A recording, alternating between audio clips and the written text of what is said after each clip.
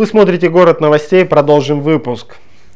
Самый низкий козырек кунгура нашел сегодня Марат Борисов. О том, где жителям приходится наклоняться и набивать шишки, узнаем в очередном выпуске «Мелочей жизни».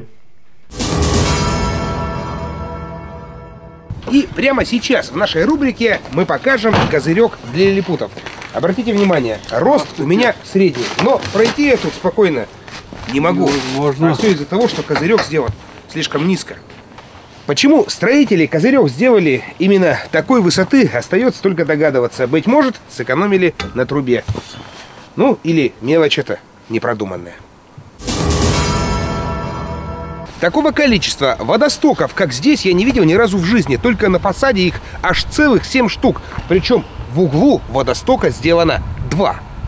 Я не строитель, чтобы судить, но если по мне, мелочь это говорит о двух вещах. Либо подрядчик попался добросовестный, либо в других местах нашего города водостоков попросту не хватает.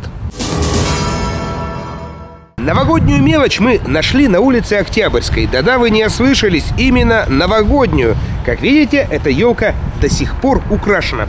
И увиденное чем-то мне напоминает монолог Михаила Задорнова, который говорит о том, что наш человек елку убирает в марте. Может и мелочь, но выглядит нелепо.